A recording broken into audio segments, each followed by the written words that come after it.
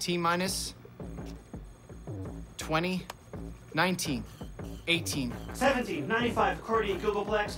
You know, just imagining that big data load is enough to get me to half mast and touching cloth at the same freaking time. Three, two, one, lift off!